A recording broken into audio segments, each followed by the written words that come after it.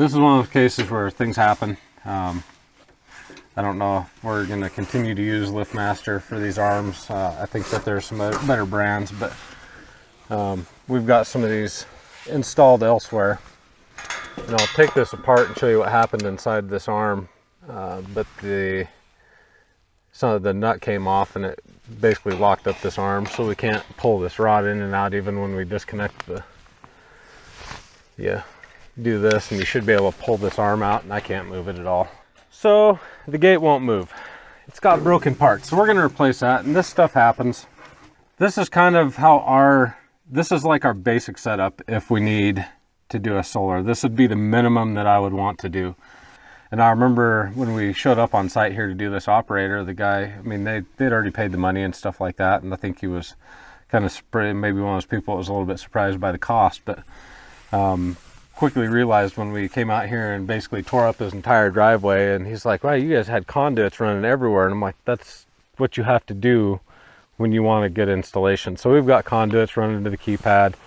We try not to use wireless keypads because they can be problematic. We've got a latch on that and we'll show you that here in a second. Um, we did not use just the single battery and the single panel. We've got more, uh, I think we've got 30 watts of charging power and then we've got two of the 33 amp hour batteries instead of two 7 amp hour. So we have a lot of storage so that when we get that week of nothing but clouds, the gate will still continue to operate. Um, big, big differences. The other thing we have is we have loop detectors. So we've got shadow, uh, let's see, we have shadow right here, interrupt, and then free exit. So the free exit loop is down there a little ways back behind us, and then the shadow loops right underneath the gate, the swing path of the gate, and then the free or the interrupt loops on the outside. You don't see all that stuff in something like a Ghost Controls or GTO or Mighty Mule or one of those other box stores. Uh, the other thing you're not going to see is you're not going to see any safety devices. So there's nothing, most of the people will install these gates without any loops whatsoever. So it won't stop the gate from closing on a car, let alone a person. And that's problematic because that does not meet UL 325 requirements. Um, and when they get those cloudy weeks, they'll just stop working because they don't have the battery battery capacity. So we try and think of all those things for the customers so that they don't have to worry about those because what we're looking for is good reliability. We don't want them to call us up the first time it is overcast for three days saying my gate won't open. We'll show you here over in a little bit how this latch works when we get this thing hooked up. But right now we'll just change out this arm real quick and get it up and running.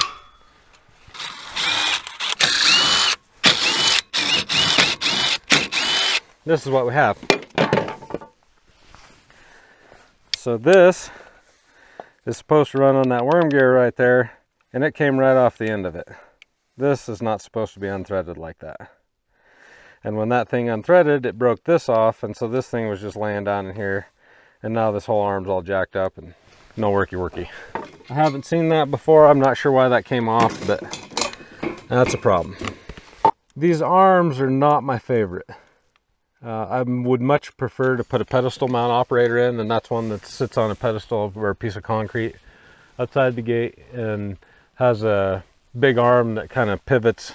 Those are my favorite. They're a lot tougher. Uh, these are probably on the lower end of the spectrum. They're a little cheaper and stuff like that, but there's some things they don't do. And then kind of in the same family of operators, these uh, is some hydraulic ones. Now, if you get the hydraulic ones, they're not comparable to these really at all in cost. They're quite a bit more expensive. Um, we've got a bunch of those up in Jackson. When people just have to have swing gates. Uh, we really try and discourage swing gates in Wyoming just because snow buildup and things like that. But these are still, um, they can be very reliable, but they still are more of a budget operator. I think we'll get away from these altogether, but they're they're good for uh, certain applications. Um, but LiftMaster may not be the brand we go to for future stuff because we've kind of had a lot of warranty issues here lately and that costs us money. And that's something we always consider. When something starts costing us a bunch of money and they don't pay us the labor to fix it, then we have to think about whether or not we want to keep using that. See, this is what's supposed to happen. That's locked, but when I unlock it, I should be able to freely pull this. That was not the case with the last one. So that's how you are able to open and close the gate if there's a if your installer didn't give you enough battery power or you have another problem. This is another thing that I would say sets us apart is rather than wadding all this up inside the cabinet, we'll go ahead and trim that to the right length so that there's not a big rat's nest in there. I'm going to show you something that will blow your mind. Are you ready? You ready for this? These wires, you can cut them. I'll show you why that's important. This is something else that's going to blow your mind. Right here. But you can actually, you can take a hole socket made for conduit and you can actually put holes in these wherever you want. So you can actually terminate your conduit. I know that blows your mind. Most people like to just cut their conduit off down here and then just open air their wires up into the cabinet through some big old butchered hole so that they can get all cut up. But yeah, they actually make these bits that you can cut holes in metal with. That's something you don't see a lot. So properly terminated conduit for unfortunately far too many gate operator installers is not something that you see. Drives me nuts. That's another thing. Put that on a list of things that drives me nuts. I mean, right up there with people that don't bother to get their license before they do this. Which in Wyoming, you're supposed to have a low voltage license, but a lot of people don't. And then they come in here and they butcher an install. But let's talk about that. So this cabinet here that I cut all these fancy holes in, that cabinet, that's not something that you would see anywhere else. You have to go buy this cabinet special. This is what you're gonna get with the operator package. This is all SWI stuff so that we can put these big batteries in here. And we have an even bigger one. So if you really need a lot of battery power, we've got a setup that's even bigger than this one. You could run your gate for like a month without having to charge it. We've got a couple of those running around. But those solar setups, just to even buy the product is like $3,000. So when you think you're gonna get an operator installed for 2000 sometimes the solar setup can cost you more than that when you're doing things correctly. Look at that. I mean, I don't have my fancy ends anymore, but you can cut those off. We can make do without them. Because what we don't want to have happen is have a big rat's nest. I like to have everything all nicely tied off and routed neatly. These are our loops over here. One of the things that really, I think that the little finishing touches like that, I think make all the difference in the world.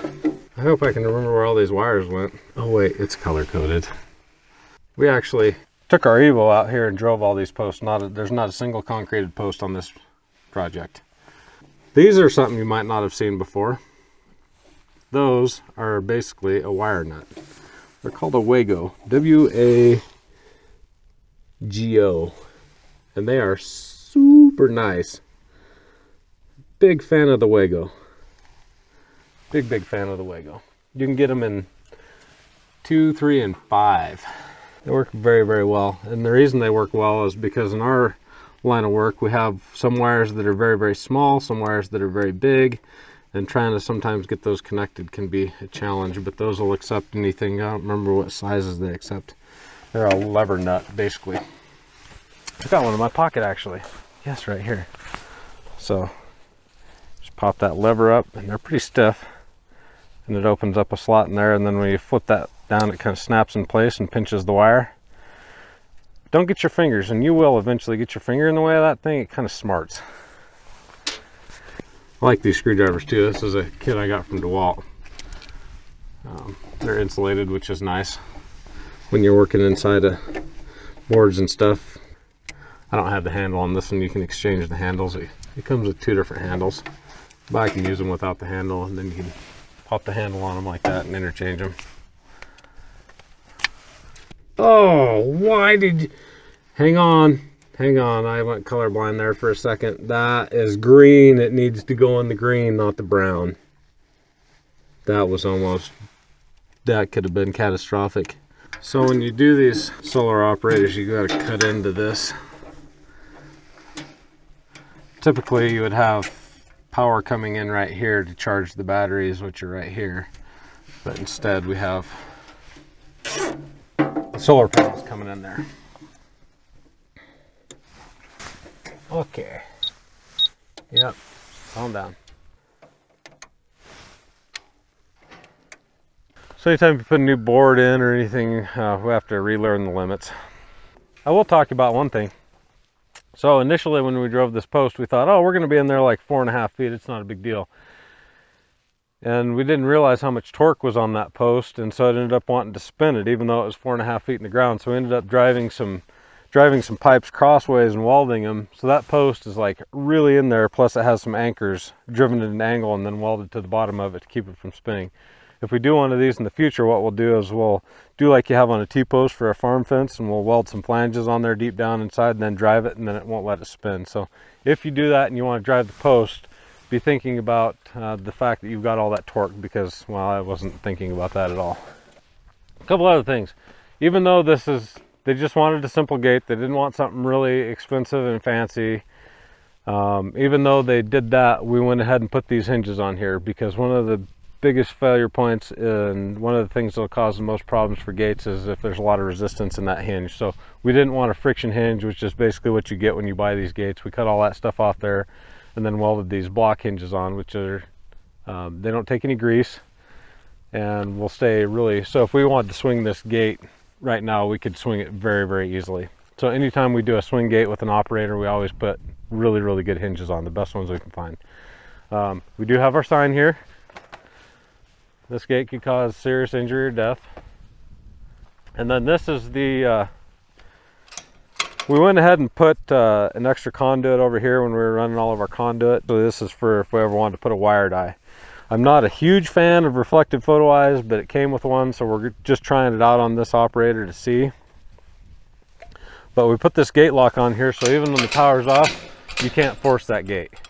It does have a key override, which the owner has. Um, so no matter how hard you try, you can't force that gate open. We didn't just weld straight to the tube. We put that channel on there. That's about it. Uh, they're thinking about putting like an archway over here, maybe something a little more decorative. They weren't sure what they wanted to do right here, so we've kind of left this open right now. Uh, and then this is the reflective photo eye. So we're going to see how this holds up over time, and then we've just got a reflector down there. Normally what we use is a through beam which means it's just like your garage door. It's got a beam on both sides and they talk to each other, they see each other.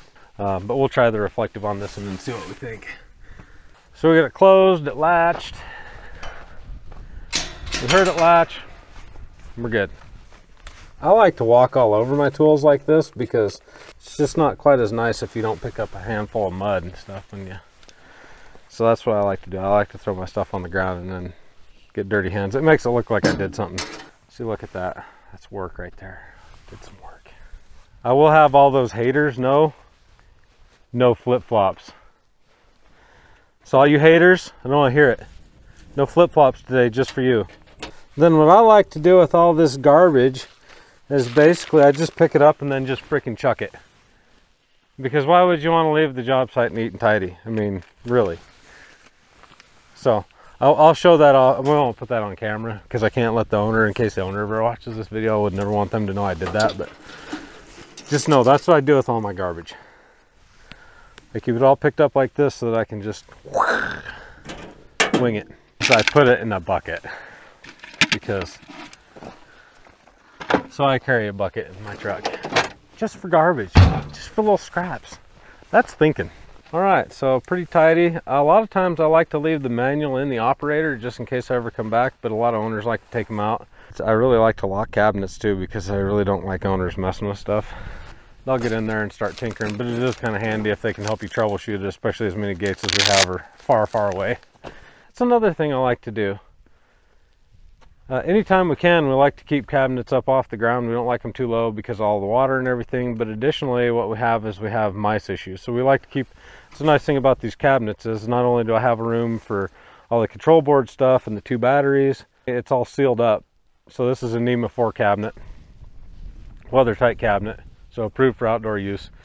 And it keeps all the mice and critters and stuff out of it. So that's another reason to use conduit wherever you can. Now, not everything can we use conduit with.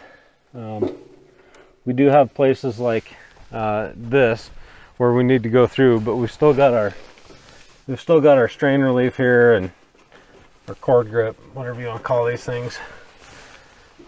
Because sometimes we have stuff like this, there's just nothing. I can't put a conduit on here because I don't have a termination for that. So um, we're forced to, same thing on this. I've got some some goofy things there and then I've got the solar panel where you can't put conduits in there so some things we are forced to do open air um, but wherever we can we try and put things in conduit that's not something you're going to see with people don't know what they're doing I can tell you that you're going to see crap just buried in the ground hey this is another thing you see this sticker right here it says antenna do not straighten you know how many times I'll go to a job site and find that the owner thought that they could get a little better reception if they just straighten that thing out? If you see an antenna like this, that's the way it came, leave it like that. That's a tip. No charge.